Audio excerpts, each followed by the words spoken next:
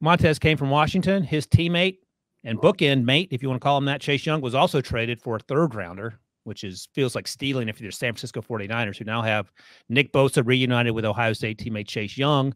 You have Armstead in the middle. You have Hargrave in the middle. You have Drake Jackson outside, who started strong and maybe didn't flash as much as they wanted. And that's why they went out and got Chase Young. Uh, but let's not talk about the 49ers. Let's talk about the Commanders. Are they just throwing up their hands and giving up on the season and stockpiling picks? Because now they have a second rounder for Montez. They have the third rounder for Chase Young. Their offensive line is a mess, and, and Sam uh, Howell's running for his life every week. I think it's it's going to be interesting to see, and I don't know the the, the, the dynamic behind the scene, but was this directed from the ownership? Because if I'm Ron Rivera, if I'm the front office, we have to win games maybe to keep our job, or the new ownership yeah. may end up blowing it up. The best way to keep our job is to keep Sweat and to keep Chase. if they're no longer there, Toohill's okay. Toohill is okay as, as edge rush, but they don't have any depth there at the at the uh, position, so that are going to replace those two guys.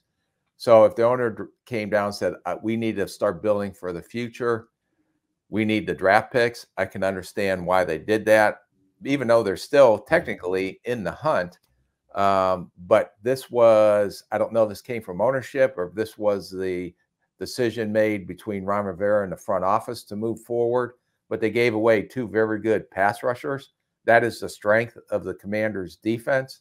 And now you've taken a strength and made it a weakness, except right. for the two inside guys. Allen and Payne are pretty good players. So, with that, does that give you a better chance to win games? I, in my mind, it doesn't. So, if I'm trying to fight for my job and the owner came down and says, "Get rid of these two guys. I want the draft picks for next year because we're going to start rebuilding." What confidence is that saying to Ron Rivera in the front office that you're going to be there next year? Unless they already said you'll be here next year. We're going to rebuild. Go ahead and do this, and don't worry about it. I don't know that for a fact. Yeah, don't worry about it. Famous last words. No, you'll be fine. Don't, don't worry yeah, about it. Yeah, yeah, heard that many a time. uh, by the way, so we say there Washington has the 11th pick the 37th pick, which is the one they just got from Chicago. So it was pick 37, pick 42, 73. And then they have a, a compensatory pick in the third round, which is pick 100. And I mean, that looks nice to have five picks in the top 100, but you also don't have Chase Young and Montez Sweat, uh, as you noted, two uh, two of the four best players in that defense. If you're Jonathan, uh, oh, go ahead. Yeah, go unless they're trying to make a power move to accumulate all those draft picks, to depending on where they end up, and try to make a run at either Williams or Drake Maye. Okay. I mean, it's going to take more than those five picks and some later first rounders, but I get it. Understand. I get it.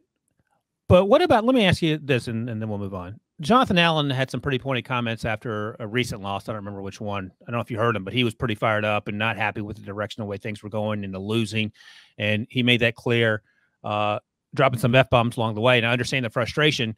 What is he thinking now? I mean, this was before the trade. Now you get rid of two of your best players. What's he supposed to? What are you supposed to tell this guy? Well, that'll be interesting how Ron Rivera can keep the troops rallied down in that locker room uh, because you're giving away two key players, especially on the defensive side of the ball. So, what message did that send? Was sended like you you indicated, and we're indicate well hey, we're giving up on the season. I don't know that, but that's what you're assuming on the outside. Uh, but how do you keep that team going uh, when you gave away two uh, critical pieces on the defensive side of the ball, and especially critical pieces that can rush the passer?